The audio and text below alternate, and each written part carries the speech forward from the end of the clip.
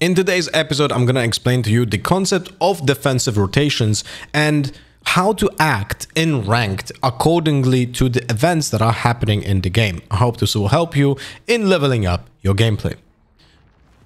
Welcome to Lothar's Lab, eight, uh, episode 86, I think. Anyway, so what are we gonna talk about? We're gonna take Ascent ranked game typical setup that you're gonna see in most of the cases when it comes to the defenders. So Sova, Killjoy, Jett Omen, Reyna, of course. And we're gonna explain how do you need to do rotations typically in what you're gonna see in the game. I think this is something that many people lack at almost every level. They don't have the grasp of the concept of how to do rotations or when, and they also don't understand the roles of an anchor, right? If you type in exclamation compendium in my Twitch chat, you're gonna also go to compendium and there's prefers preferable defensive role explanation in the video as well. Like this is something that many people just absolutely ignore. And anchoring sites is incredibly important because that's the person that is the last one to rotate. So understanding you, that your role is an anchor is the first step to actually understand how to play conceptually on the defense. So in this example, um, the two anchors are the Killjoy because she's the anchor on B because of her utility, right? That is guarding the B entrance and mid. And then the second anchor is the Omen. The Omen, because of preferential, like preferably, he is the player that is able to hold the fort when it comes to an execute, and he can play with the paranoia defensively here, right? So those are the two preferred characters that will be playing the anchors. Now, this the thing that happens the most is people are doing over rotations. So as an example, we're gonna we're gonna take a very um, simple thing. In ranked, you will you will not have full informations because people will not tell you what's going on, right? But what can happen is, for example, the let's assume we will know about two players. So maybe let's do it like this. In a round, people from A, the Reyna and the Omen, will like let you know that Raze nade and Skye Dog is coming towards A.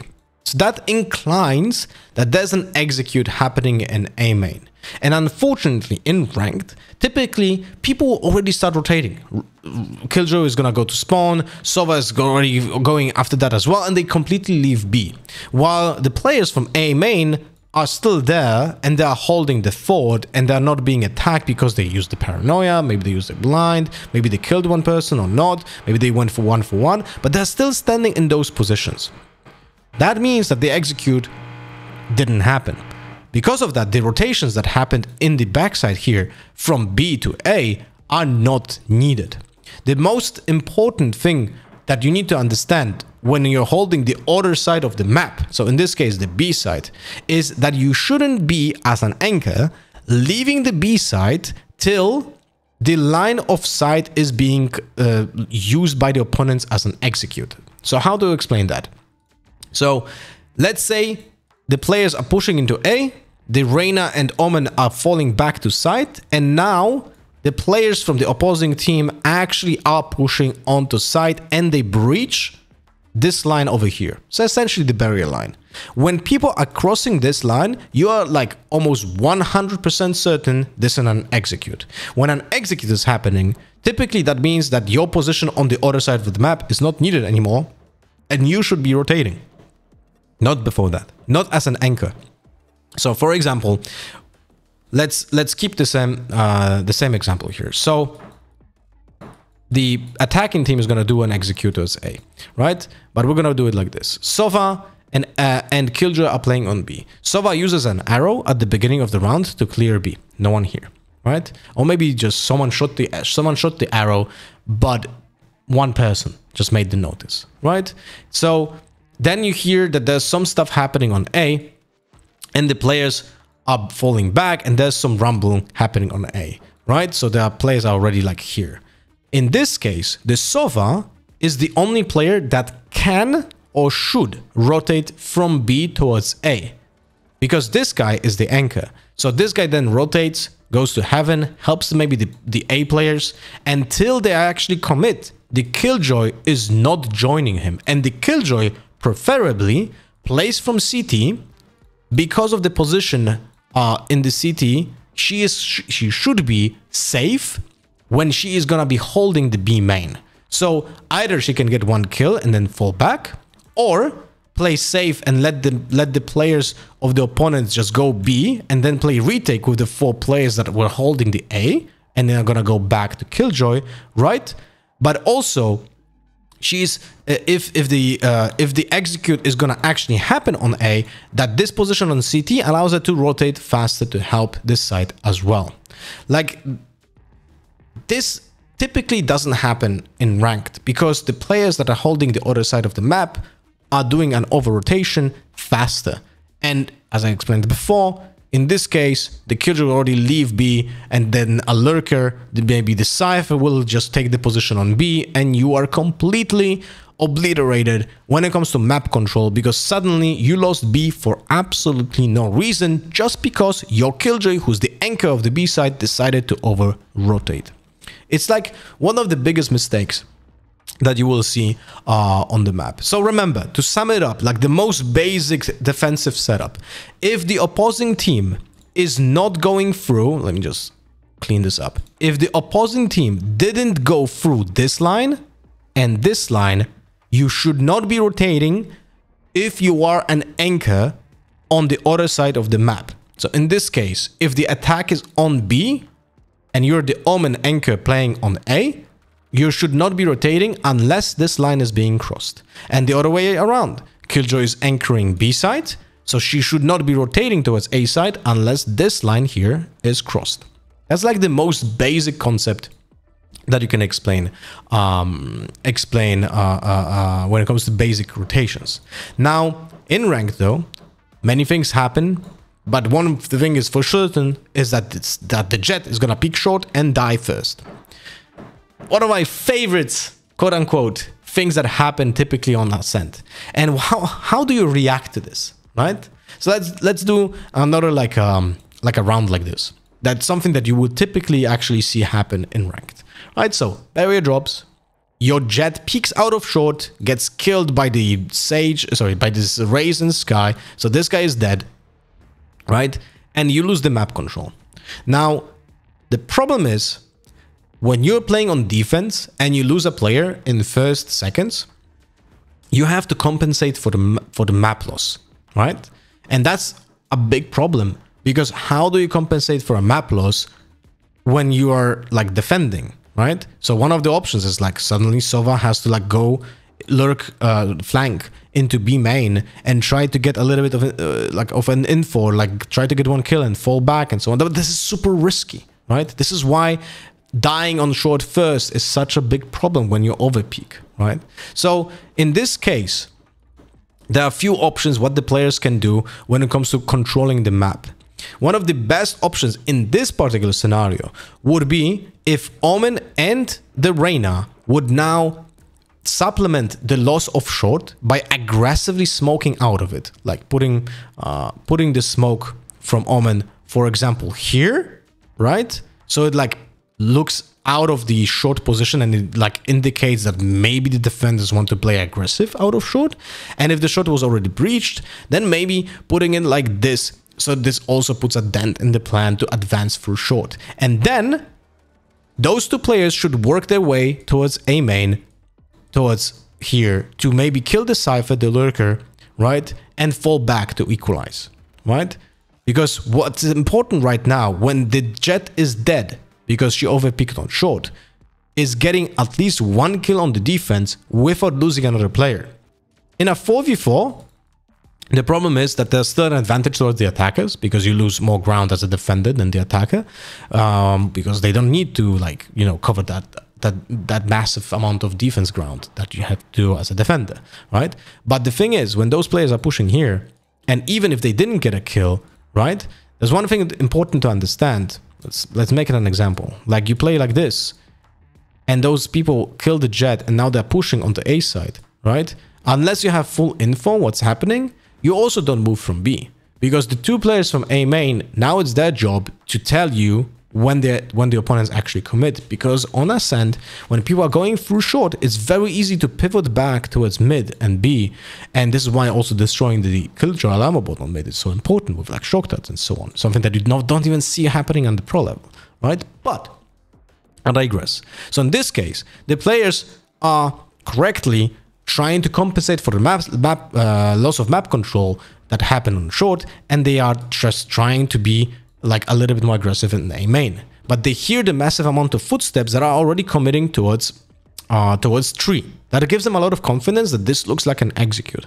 But that still doesn't mean that the anchor from the B side should be going in. In this case, if I hear comes from Omen, for example, there's like multiple players going tree, right?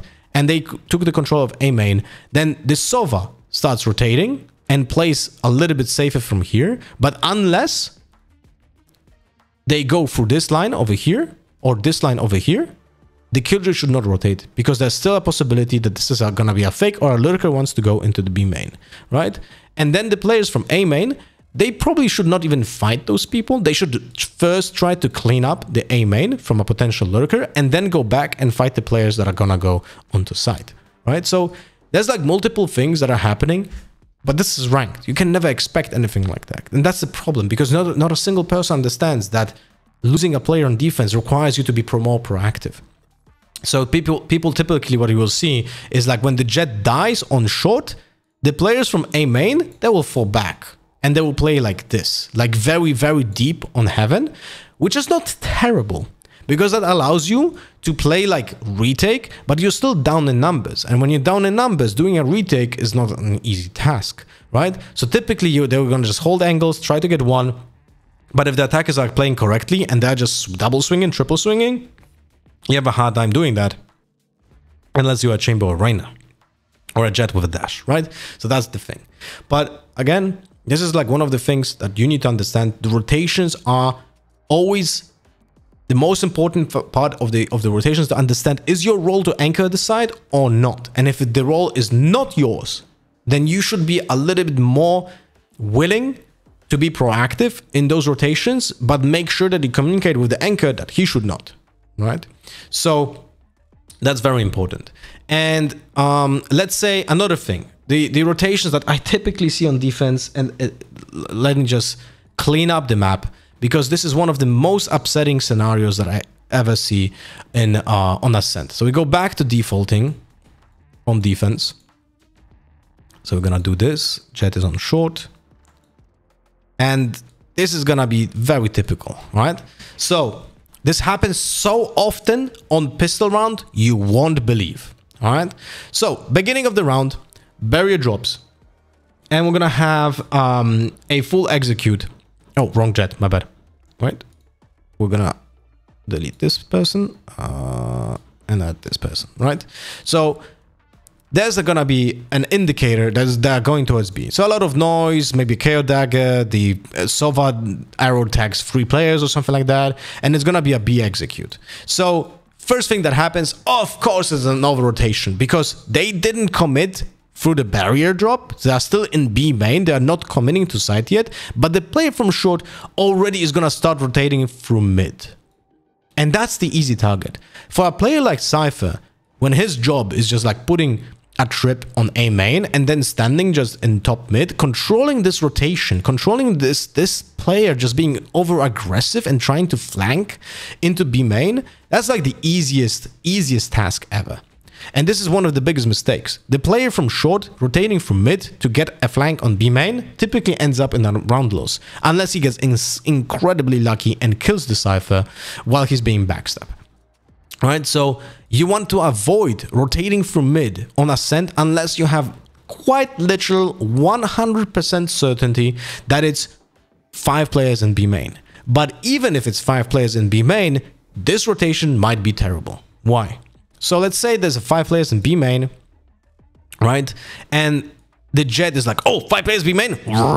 Those players also start rotating, right? So they go towards spawn. The Jett is here, but those people still didn't commit. So why is this bad? Because what will most likely happen, because of the over rotation, because you have certainty about the amount of numbers, the most important position for the defenders right now on this map is the Jett.